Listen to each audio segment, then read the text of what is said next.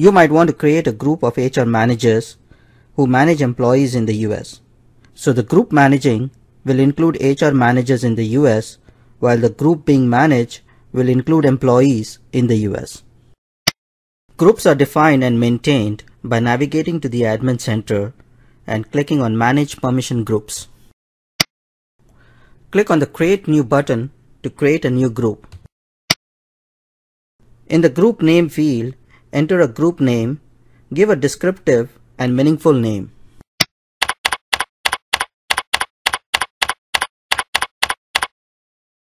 Now here we will select the group members.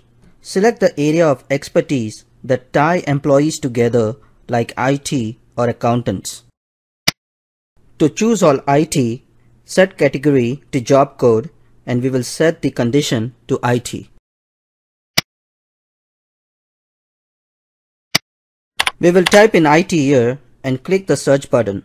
All IT related titles will show up. We will select the IT Manager group and click on Save button to complete our setup.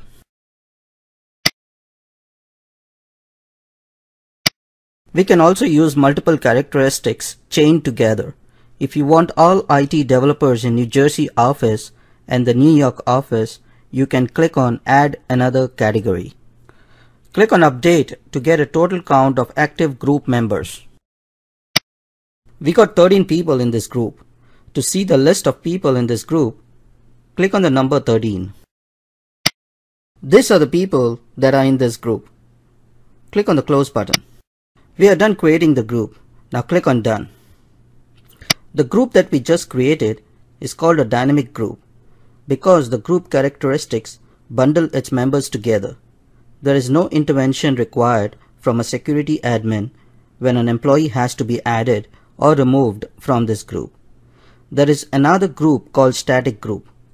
The members of this group are manually assigned and unassigned. Static groups are created in the same manner, but instead of specifying a universal characteristic such as job code or location, we choose user or username in the drop down where we selected job code.